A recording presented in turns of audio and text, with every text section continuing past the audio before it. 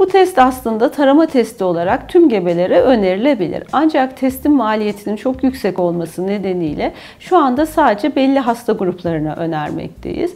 Bu testin yapılacağı e, hasta grupları korionvirüs örneklemesi veya amniyosentez önermeyi planladığınız tüm hastalarımıza uygulayabiliriz.